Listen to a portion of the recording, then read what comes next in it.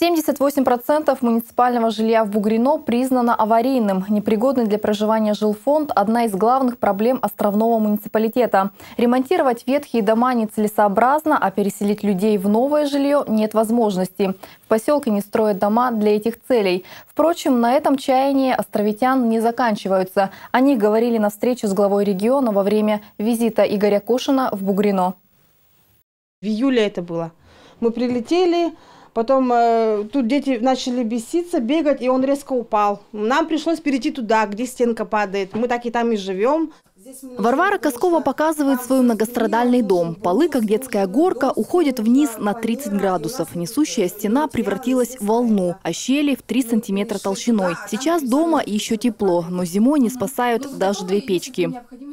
Мы пытались сами делать ремонт, но я как э, э, многодетная мама, у меня трое детей, у меня зарплата 20 тысяч, у меня нету даже э, денег, чтобы купить фанеру, которая стоит 2000 рублей, и даже э, этот самый, как его, утеплитель. Как бы у меня нет средств, чтобы сделать самой ремонт.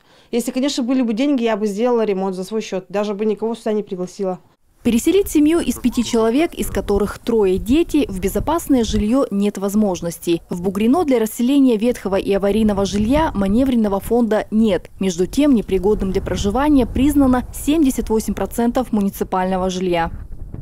32 муниципальных дома признаны аварийными э, по 47 постановлению правительства. 70 и 80 -го года постройки. Вроде как не старые, но просто что у нас территория очень заболоченная и ну вот в связи с этим, получается, проблемы появились. Последние возведенные в поселке многоквартирные дома распределили для нужд социальной очереди. Новое жилье начнут возводить лишь в 2018 -м. А пока губернатор предложил предоставлять жилье в других населенных пунктах, вплоть до Нарейнмара. Это направление поручено курировать Ольге Старостиной. Если есть желающие, то будем решать вопрос временно переселить в маневренный фонд Наринмаре жителей, которые вот пожелают. В 2018 году планируется сдать 12 квартир на Колгоеве. Это то, что первоначально мы сейчас решаем. И на месте сносимого аварийного жилья будет продолжаться строительство жилых домов дальше. Это будет 19-20 годы.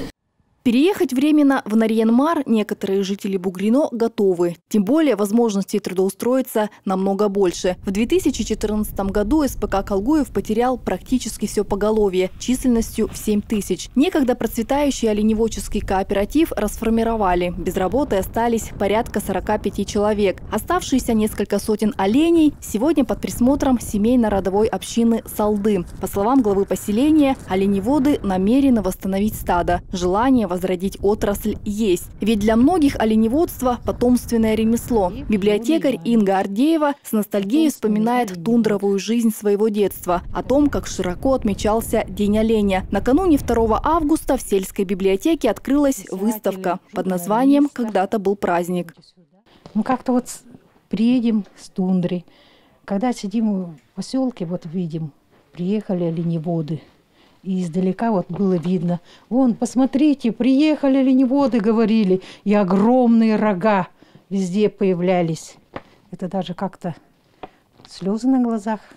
Восстановить стадо – это и вопрос продовольственного обеспечения. Уже третий год жители едят привозное мясо. Правда, обходится такая оленина в немалую сумму – 616 рублей за килограмм. Как говорит председатель потребобщества Наталья Кардакова, теперь организации не компенсируют транспортные расходы. Соответственно, их закладывают в стоимость. Есть еще одна проблема, о которой не первый год говорят в Бугрино – новая школа.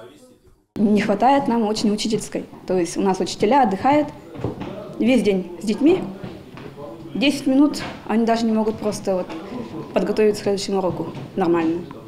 Они могут выйти в столовую, посидеть минут пять а еще нет спортзала и достаточного количества классов. Дети учатся в две смены и ходят на физкультуру в Дом культуры. Судьба трехэтажной школы сада будет решена осенью, когда будут известны итоги изыскательных работ. Но уже понятно, строить гигантскую школу нецелесообразно. Сегодня учреждение посещают 46 детей. Поэтому новое здание будет деревянным и одноэтажным. Не исключено, что строить новую школу и дома будет кто-то из числа местных жителей. Я убежден, что ребята из Бугрино, которые получают э, образования в Ленинской школе-интернат должны иметь сквозные контракты и должны э, после Ленинской школы-интернат иметь возможность получить специальность, по которой потом не будет проблем с трудоустройством.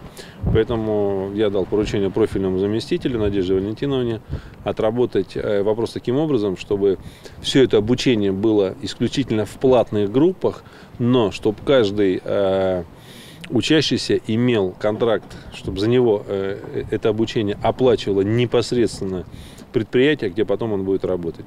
Сегодня после окончания школы имени Антона Пырерки практически вся молодежь уезжает на остров, не получив образование. Отсюда и статистика. Из 77 безработных диплом о среднем профессиональном образовании имеют только 14 человек. Система контрактного профобучения поможет выпускникам получать образование и сразу трудоустраиваться. Валентина Чибич, Дмитрий Лукевич, телеканал «Север».